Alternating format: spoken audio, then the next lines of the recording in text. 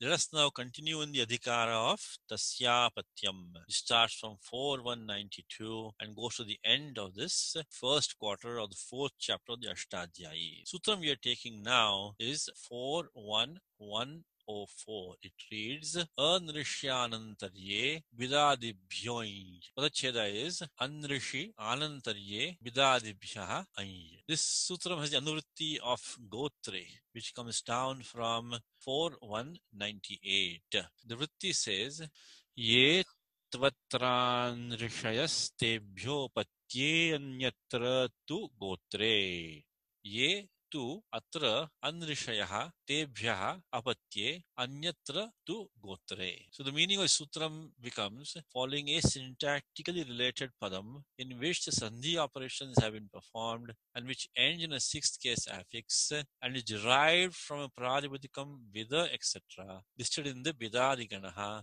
Tadhita affix I may be applied optionally to denote the sense of gotrapatyam of a sage or anantarapatyam, immediate descendant of one who is not a sage. Recall what is Gotram? Is defined by Sutram 41162. Apatyam Pautra Prabhuti Gotram. So it is a descendant, but not the immediate one. Descendant, grandson onwards down is called Gotram. Okay, so this Bidadiganaha mentioned in the Sutram 41104 is a special Ganaha. For those words in this Ganaha where the person denoted is not a sage, the form which is derived denotes the immediate descendant. Anantarapatyam. That's what is meant by Anrishi Anantarye. And for the remaining words, which denote the names of sages, it is in the sense of Gotrapatyam.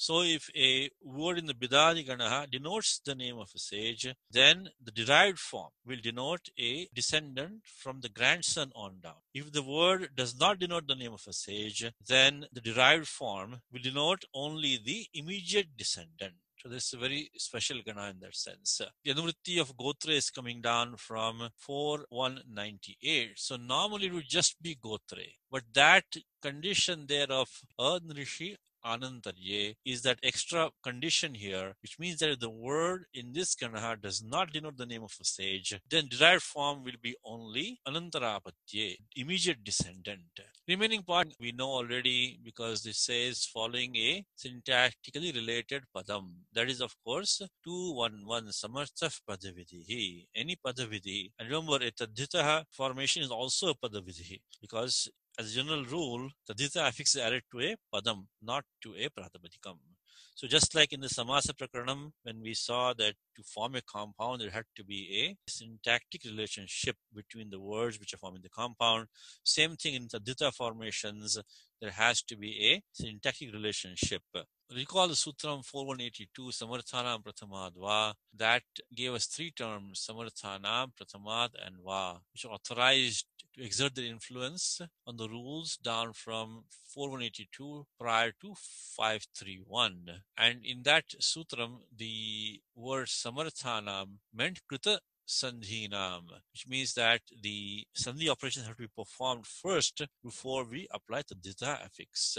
That is how we get the meaning of this sutram. We are, of course, familiar with these two rules 211 Samarthah Padavidhi and 4182 Samarthanam Prathamadva.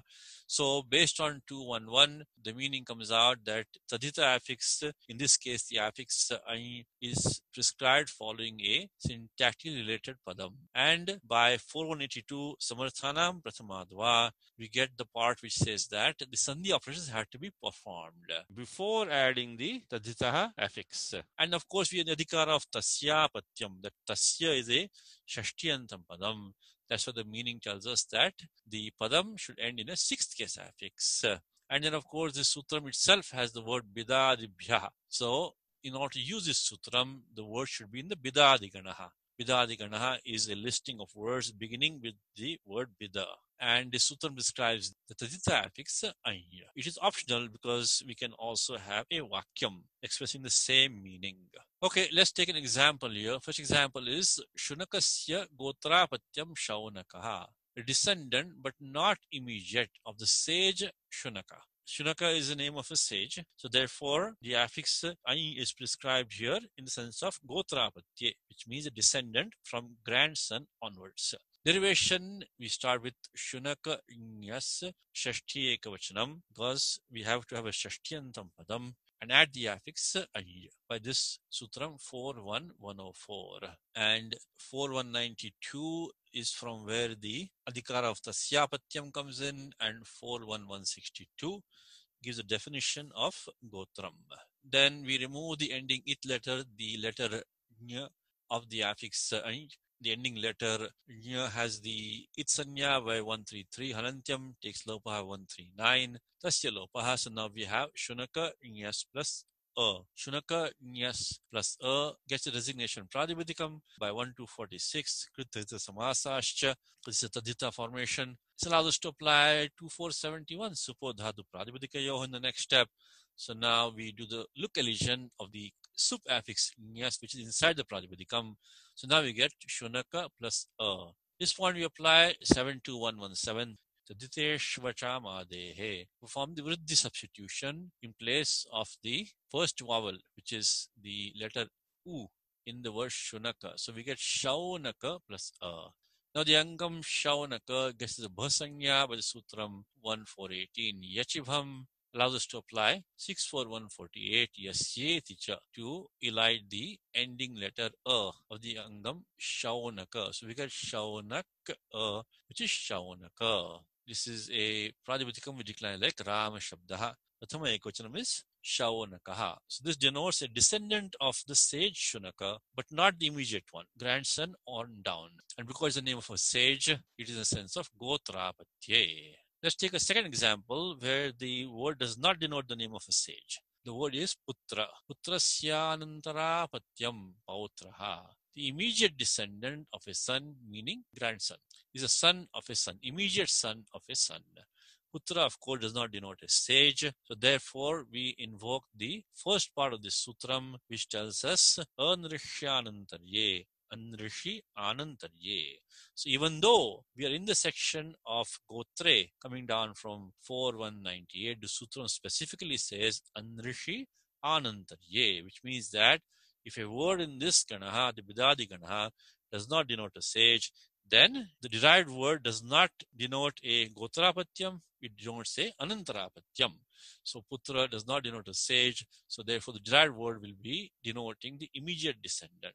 Derivation is we start with putra nyas shashtiyantam padam add the affix uh, by this sutram 41104 of course 4192 is the adhikara of tasyapatyam. That word tasya is shashtiyantam that's why we start with putra nyas remove the ending it letter the letter nya of the affix that gets it sanya by 133 halantyam takes lopaha 139 tasya lopaha. So now we have putra nyas a. This entire term Putra Nyas A gets a designation Pradipadikam by 1 to 46. Krititsa Samasascha allows us to apply 2471.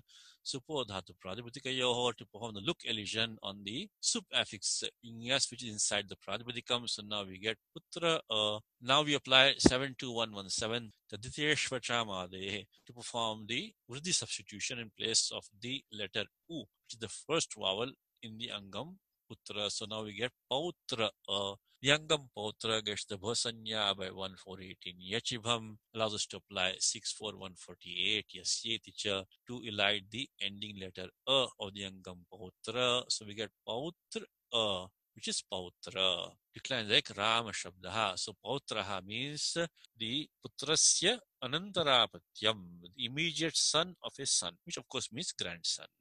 This is how this Gana is used. It is a special Gana, the Bidadi Gana. If a word in this Gana does not denote a sage, then derived word stands for Anantarapatyam, immediate descendant. Otherwise, it denotes a sage, it's in the sense of Gotrapatye.